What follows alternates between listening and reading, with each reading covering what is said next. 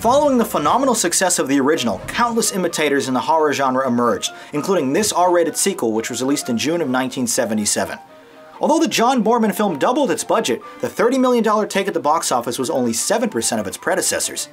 The 118-minute story is set four years after Linda Blair's demonic possession in the original, but unfortunately the teen is still dealing with lingering issues. Now older and not caked in layers of scary makeup, Blair is able to portray a more familiar teenage character, but her delivery ranges from weirdly enthusiastic or uncomfortably somber. Ellen Burstyn, who gave a brilliant performance in part 1, wisely sat this picture out, but her presence is not only missed, it's also unaddressed. Instead, Blair is living in a Manhattan high-rise with a female guardian, played by Sharon Spencer. Their expensive-looking penthouse is covered in mirrored walls and is missing outdoor railings. Now, interior decorating might seem like a petty thing to complain about, but what made the imagery and themes of the first picture so effective was its Georgetown setting, a plain and relatable house most people can associate with fear. But a pigeon coop overlooking Fifth Avenue only a millionaire can afford? It hardly incites the same effect.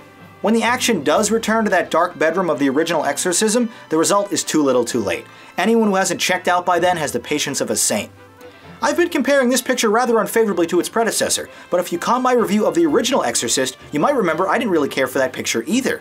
The entire premise of the sequel, though, is built on the supposition that Blair is somehow still possessed by the devil Pazuzu, which completely undermines the memorable conclusion of Part 1.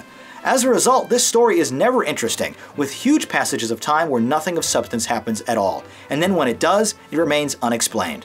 Progressing slower than a snail, the movie eventually morphs into a National Geographic special, when it takes a lengthy detour to show us the migratory patterns of grasshoppers.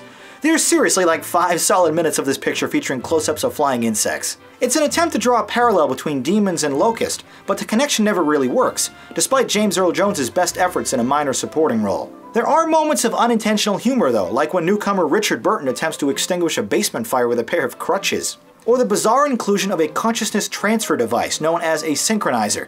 Complete with obnoxious blinking lights, this mind meld tool is relied upon to advance some of the picture's most important plot points, like when Burton shouts, Your machine has proved scientifically that there's an ancient demon locked within her.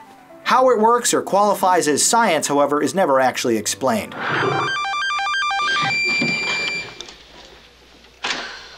What was it? A leopard. He jumped right at me. The boy's still alive. He, uh, he frightened Pazuzu. Do you remember anything? Was it in Africa? Why do you say that? Well, it was like something I saw with my class at the Natural History Museum. But you weren't supposed to remember anything. I know. True story, I watched the 90 second time lapse of Boston's massive snowmelt the same day I saw this picture. Guess which was more interesting? The entire experience was insufferably boring and just plain stupid. Despite the universal disdain for the picture though, Hollywood didn't learn its lesson and would ultimately produce three more films in the franchise. The Exorcist II The Heretic is a colossal waste of time and an insult to its namesake. It's a piece of garbage.